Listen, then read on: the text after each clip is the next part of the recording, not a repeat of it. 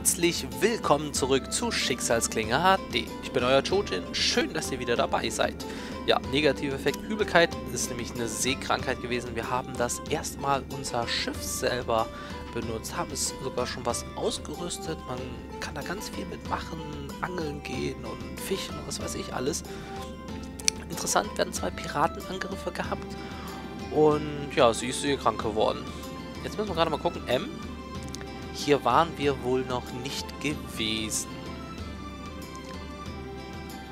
Alles klar. Wir sind jetzt auf, ich kann das mal kurz auf der Weltkarte zeigen. In der letzten Folge mit unserem Eigenschiff von Torval runter nach Efferdon. Ich glaube, wir waren im Meerske schon. Wir hatten ja irgendwie von hier oben eine Riesenreise von Witzand gemacht, runter nach Meerske und sind dann, glaube ich, nach Norden Richtung Torval wieder. Jetzt gucken wir uns in Efferdom in der Folge ein bisschen um. Vielleicht gibt es da ja irgendeine Quest oder dergleichen. Was aber auf jeden Fall hier ist in Efferdom ist, zack, wir haben einen Hinweis hier auf das Attentat. Ihr erinnert euch diese seltsame Gauklerpärchen, was uns da überfallen hat mit den anderen Söldnern. Der Überfall auf uns war geplant. Im Schreiben fanden wir Namen und Orte der Kontaktmänner. Kuruma, der Ergraute, soll sich in Efferdom befinden. Da werden wir jetzt heute mal nachschauen, wo dieser Graute wohnt. Kurz sehen, was wir hier noch so haben. Hier Marktstand hatten, hatten die auf. Nein, es ist zu spät. Die haben nur bis mittags auf. Okay. Das Waffen hier. Schauen wir uns mal ein bisschen um. Hier haben wir eine Herbe, Veteranen. So, wir sind wieder in der Stadt unterwegs. Da wechseln wir doch gerade mal die Personen durch. Oben von Salza. Ja, die auch wieder nicht so flüssig wie die... Also die kleineren Orte haben mehr Probleme als das große Torwall. Klar, man fängt ein Torwall an, da haben sie am meisten sehr wahrscheinlich reingesteckt. Kapitän Mairos. Aha. Ja, ja, die Kneipen werden wir alle schon gleich besuchen noch.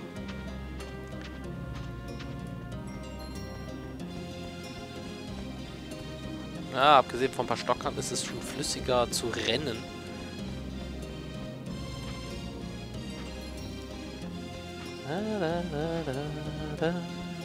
Ein Heiler? Bestimmt nur noch Quacksalber. So, und hier nochmal durch. Es versucht jemand, euch oh. zu bestehlen. Aber als wir ihn bemerken, Lump, lass deine Hand bei dir. Sich herum. Ihr bemerkt, dass einige Menschen... Was seid ihr denn für Schweine? Na gut.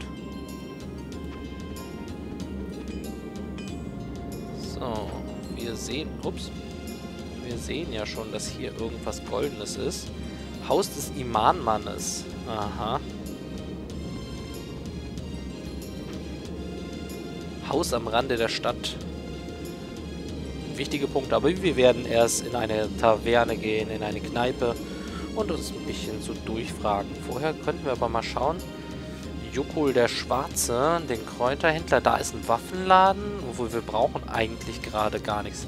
Es sei denn, wir müssen ganz viel Proviant kaufen, aber ich glaube, das macht er durch Fischfang. Vermute ich, das Schiff. Ähm, Jukul der Schwarze. Okay, in welche Kneipe gehen wir? Kapitän Mairos? Oder die Taverne Feuer und Wasser. Obwohl, da könnte noch was sein. Schauen wir uns das noch an.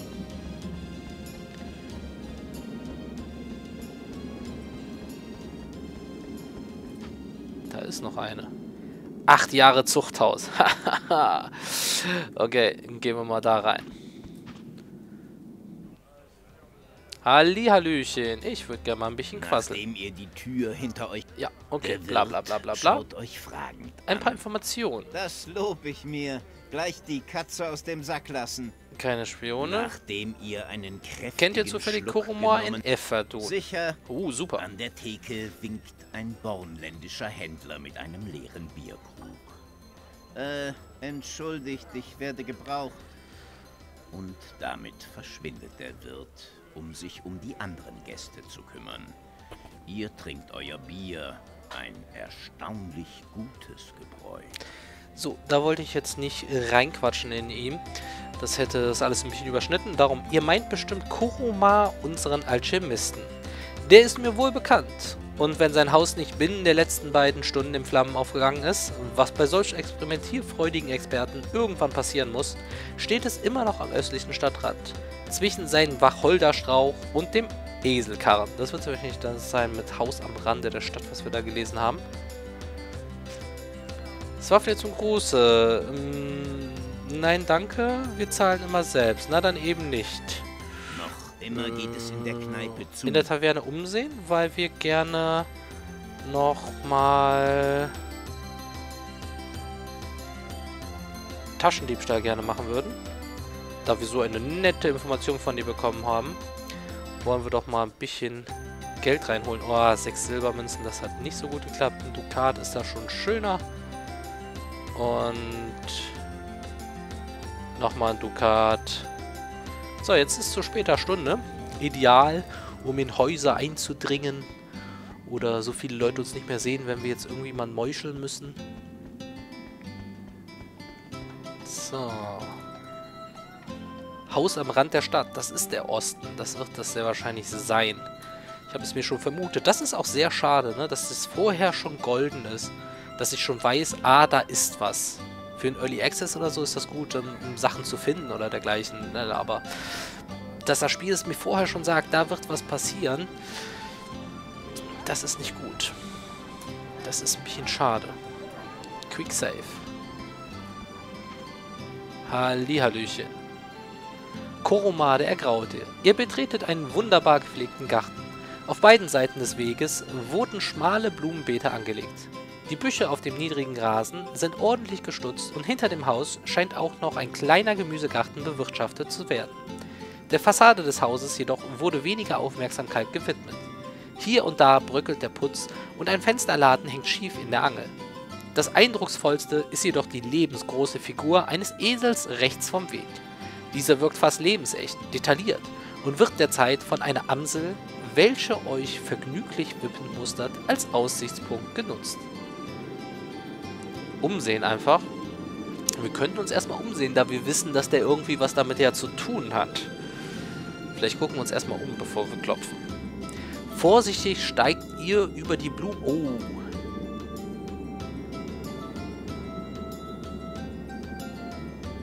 Skill, Magiekunde, wird da erfragt. Wirklich? Das ist interessant. Okay, lesen wir mal weiter. Das weiß ich ja noch nicht. Äh, ich hatte jetzt Angst gehabt, dass jetzt Schleichen kommt oder sowas und ich hätte vielleicht alleine mit Shojin reingehen müssen. Vorsichtig steigt ihr über die Blumenbeete und betretet den Rasen. Dieser Esel sieht wirklich erstaunlich echt aus. Ihr seht ihn euch genauer an. Wenig erfreut darüber, verlässt die Amsel hastig ihren Aussichtsplatz und fliegt wüst schimpfend davon. Hm, Magie, flüstert Nahema. Der war nicht immer aus Stein. Wir sollten vorsichtig sein. Penetritzel. Nee, nicht Penetritzel. Ähm. Äh. Komm nicht drauf. ihr wisst, was ich meine. Versteinerungszauber. Ähm, als ihr an einem Fenster vorbeikommt, könnt ihr Stimmen vernehmen. Es ist also jemand zu Hause. Nahema schnüffelt. Alkohol, Ether und Alraunenrauch und ein Hauch Tolles. Hier braut sich so einiges zusammen. Hinter dem Haus entdeckt ihr eine Hintertür. Ja, also wir müssen unbedingt auch Alchemie irgendwann mal vielleicht anfangen für die härteren Kämpfe, die noch da kommen in den Mods. Wir haben es ja schon auf 10, ist eigentlich ganz gut. Hinter dem Haus entdeckt ihr eine Hintertür und den Nachbarn, der euch von nebenan freundlich, misstrauisch und vor allem laut ein Swafnir zum Gruße Fremde ruft. Ja, jetzt müssen wir wohl klopfen. Aber wie gesagt, der wir können das mit diesen, was wir alles könnten und wären, wäre nicht im Hinterkopf immer dieser Zeitdruck, dass wir die Hauptstory durchspielen müssen, weil sie unter Zeit geht im ersten Teil. Im zweiten können wir uns ja unendlich viel Zeit lassen, das ist das Schöne daran. Wir werden uns das alle, allem noch widmen, auf jeden Fall. Und ich werde auf jeden Fall, auch wenn wir durch sind, in eine Komplettlösung reinschauen und wir schauen, dass wir alles miterleben, was irgendwie noch geht. Also ein riesen Let's Play, wie gesagt. Oh, nett. Ihr klopft. Und als ihr euch schon wieder abwenden wollt, öffnet ein alter, bärtiger Kerl die Türe. Hä? Die 13 zum Gruße. Wer seid ihr? Und was wollt ihr von mir? Sollte ich euch kennen? Irgendwie erinnert mich an jemand. Aber an wen? Hm, gut. Was haben wir? Martialisches Aussehen, unangenehmer Geruch, schwer bewaffnet. Unterdurchschnittlich intelligenter Blick. Danke, Arschloch. Äh, offensichtlicher Hang zur Gewalt. Das legt die Schlussfolgerung nahe, dass es sich bei euch um engagierte Söldner oder dreiste Mordbuben handelt. Ja, die hättest du uns auf den Hals. Wir kommen wegen der Assassinen. Ihr wolltet unsere Kartenteile. Äh, ich weiß nicht mal, ob sie überhaupt wirklich unsere Kartenteile wollen. Wir verkaufen diese modischen Lederjacken. Haha, Indiana Jones. Den Butler eine runterhauen. Ähm, 13. Du blasphemischer Bastard. Ihr habt den Auftrag erteilt. Ihr seid doch Alchemist. Ähm, wir kommen wegen der Assassinen. Ihr seid doch Alchemist. Machen wir erstmal auf dumm. Aber wer sollte mich umbringen wollen? Die Frist... Ah, das habe ich falsch verstanden. Er ist einer von denen auf der Liste, die umgebracht werden wollen, wo auch zugehören. Oh, da muss ich nochmal genau den Zettel durchlegen. Ach, das ist die Pause. Mist, war das so? Aber wer sollte mich umbringen wollen? Die Frist ist ja wohl noch nicht abgelaufen. Also könnt ihr nur jene Söldner sein, die ich selbst beauftragt habe. Ja, ja, eine gewisse Ähnlichkeit besteht durchaus. Ihr habt den Auftrag erteilt. Also doch, aber welcher Auftrag? Was hatten wir denn alles so beauftragt? Homer runzelt die Stirn und zwirbelt gerübelnd an seinem langen Bart. Alles in allem sieht dieser offenbar leicht verwirrte Alte gar nicht so gefährlich aus. Ja, und wirft gleich mit filialer Feuer um sich. Ich sehe das schon kommen. Wir kommen wegen der Assassinen. Ähm okay, machen wir das mal. Schließlich fährt er unbeeindruckt von euren Fragen fort. Ach ja, Projekt störrisches Grautier. Ich hatte nach Tierbändigern gerufen, aber wie ihr seht, habe ich das Problem schon selbst gelöst. Kuruma zeigt auf die steinerne Eselstatue zu eurer Rechten und hebt drohend den Zeigefinger. Ha! Erst meine Tanelen abfressen und dann mir dann auch noch die Tür schmeißen. Vor die Tür schmeißen. Das hast du nun davon dann wendet er sich euch zu. Also, falls ihr gedenkt, euch auf einen, meinen Rasen zu erleichtern, blitzartig zeigt er wieder auf den Esel. Verstanden? Ähm, ihr wolltet unsere Kartenteile? Gut, dann war da noch Projekt Zauberflöte. Also entweder hat der Trank bei den testenden Probanden nicht nur spezielle Glieder gestärkt, sondern zusätzlich einen verjüngenden Nebeneffekt gehabt. Oder ihr seid nicht die Testpersonen, welche das Vergnügen hatten, mein neues Liebeselixier zu beproben. Aber was dann? Wir verkaufen Jacken. Projekt Krötenschäme oder etwa Auftrag Drachenträne? Oh ja, sagt mir, dass ihr das seid. Wobei, ihr seht zwar zum Heulen aus, aber dass auch Drachen bei eurem Anblick, naja, vielleicht weniger durch euren Geruch ad primo, eher ad secundo durch das Brennen in den Augen. Blasphemischer Bastard. Haltet endlich die Fresse und beantwortet unsere Fragen. Das ist gut. Oh, wie unhöflich, unzivilisiert und barbarisch. Wisset jedoch, dass ich eurem Wunsch nur ungenügend entsprechen kann. Vielleicht kommt ihr ja von selbst drauf. Bei so viel Aggression in eurer Aura empfehle ich mich nun und berate euch dringlich. Bewegt euren Arsch von meinem Land oder ihr leistet dem Eselgesellschaft. Explodierend äh, plötzlich Koroma mit beeindruckend dröhner Stimme und schlägt euch die Tür vor der Nase zu. Hinterher und keine Gefangenen. Ein paar kräftige Tritte und schon fliegt die Tür aus den Angeln. Hoffentlich hat er wirklich damit zu tun und wir machen nicht gerade hier, ne? Am anderen Ende des Raumes steht eine blonde Frau von vielleicht 18 Götterläufen. Ein Knabe, der etwa acht Winter gesehen hat und Kuruma, der den Knaben an der Schulter gepackt hat. Als ihr ins Zimmer stürmt, dreht der Alte sich sofort in eure Richtung und streckt euch die bloßen Handflächen mehrmals kreuzigend entgegen. Auf sie, bevor er zaubern kann, ruft Brendel, stürmt vor und knallt aus vollem Lauf gegen eine unsichtbare Wand. Vom Aufprall breiten sich kleine Wellen aus wie in einem See. Und während Brendel beginnt mit wuchtigen Schlägen auf das Kraftfeld einzuhämmern, lauscht ihr Koromas Anweisung. Es ist vorbei, die Alfaner sind da. Schnell, Steven. Ah! das ist der aus... Äh, äh, der muss er nicht sein, aber der heißt auch Steven aus dem dritten Teil, der Lehrling. Lauf rüber ins Feuerwerk und hol ein paar tüchtige Jungs. Aber ich bin doch Torbenmeister. Ah! Koromade ergraut. Warte, jetzt denke ich an äh, Drakensang. Hieß der nicht Steven und Torben? Ich bin mir jetzt nicht sicher. Hießen die beiden so? Ah, ich habe keine Ahnung. Aber der hieß auch nicht äh, Koromada Ergraute, oder? Ach, es würde passen. Der war genauso mit Schugge im Kopf. Entschuldigung. Egal. Erik, beeil dich lieber. Der Fortifex wird nicht lange halten. Und du, Nahema, hol dein Kettenhemd. Hm? Svenja, Meister. Nein, okay. Na, wenn du alles besser weißt, kann ich ja gehen. Also wie gelernt. Amatrotz, Feuer, Gift und dann lassen wir die wilden Wutz vom Flock, dass diese allerfahnischen Schlagetoten vor Angst die Buchsen nass wird. Bereit, Meister?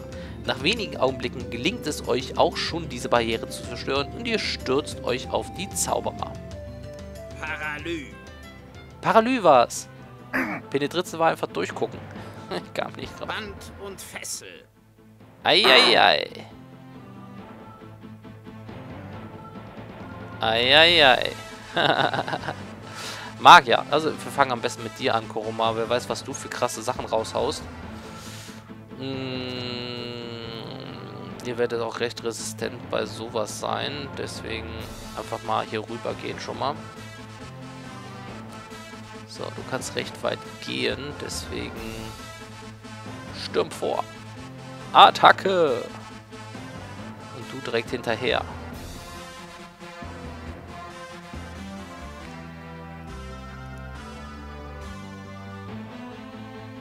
Band und Fessel. Fehlgeschlagen. Edge Badge. Oh oh, Banbaladin wäre natürlich schlimm, wenn die eigenen Leute uns hauen. So. Magie sollte ich gar nicht erst bei dir versuchen, glaube ich. Sehr gut.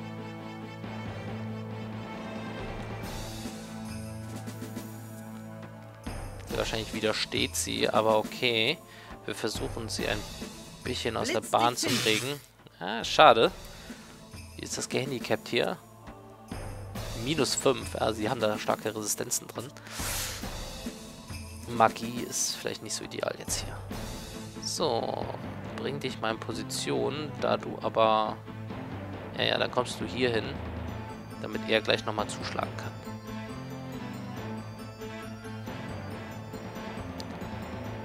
Und los geht's. Dann würde ich sagen, soll die Truppe sich doch einfach umzingeln und zuschlagen. Da sowieso jetzt alle in Angriff gehen.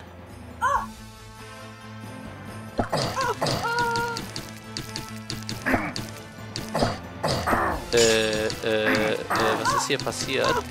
Was hat sie denn krasses... Oh, was ist denn hier passiert? Moment. Eieiei. Stadtgardisten. Ja, denen gefällt gar nicht, dass wir einfach ein Haus hier gestürmt haben.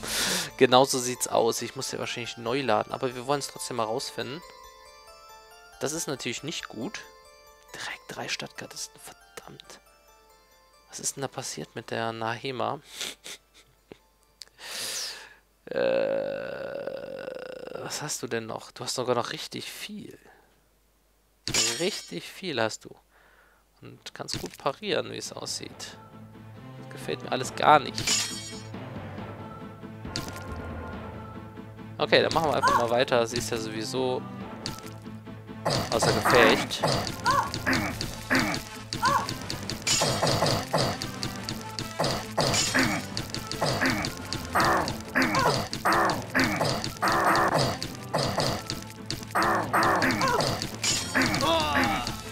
Und stopp. Da hat einer seine Waffe verloren. Das ist nicht gut.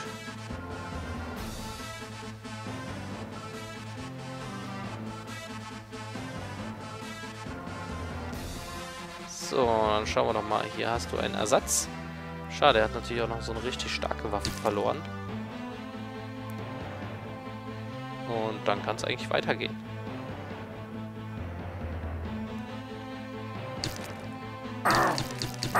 Uff, der Schnebel. Puh, nicht gut hier. Was sind das denn für Stadtgardisten, die hier noch Gift haben? Ist immer noch gefesselt. Oh oh. Jojen hat es auch umgenockt. Hoffentlich haben sie saubere Klingen, sonst kriegen wir da noch Wund dran.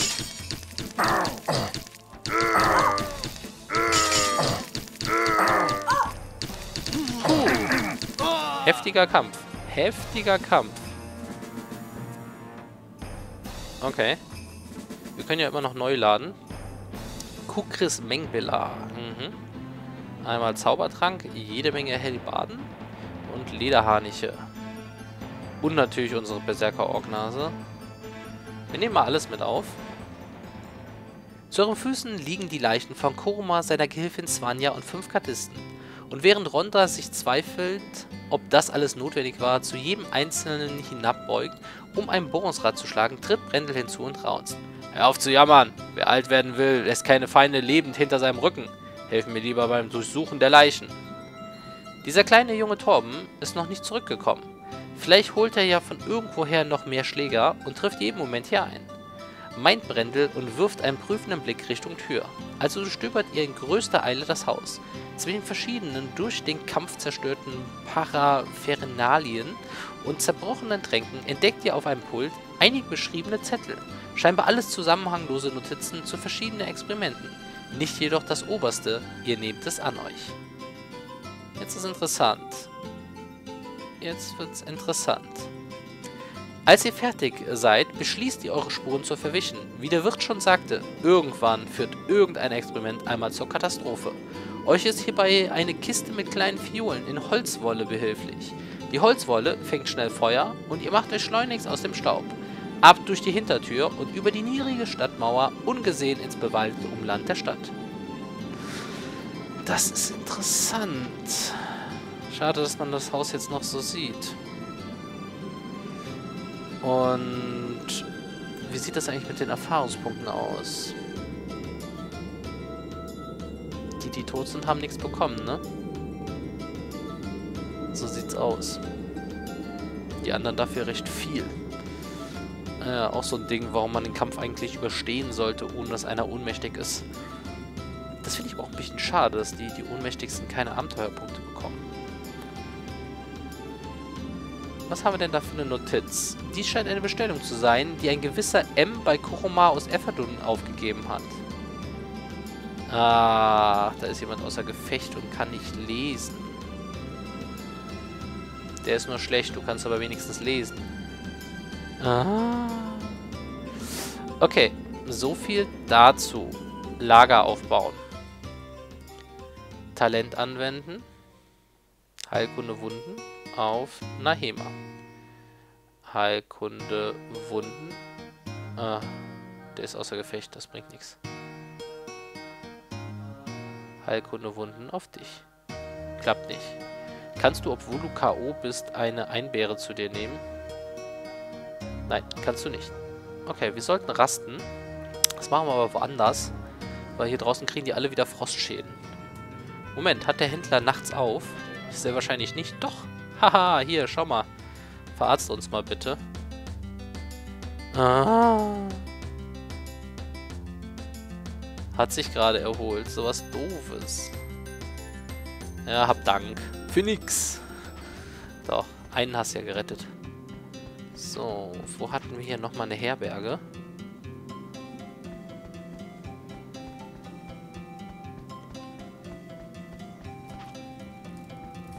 Ein schönes Event. Aber der war auch schon ganz schön verwirrt gewesen.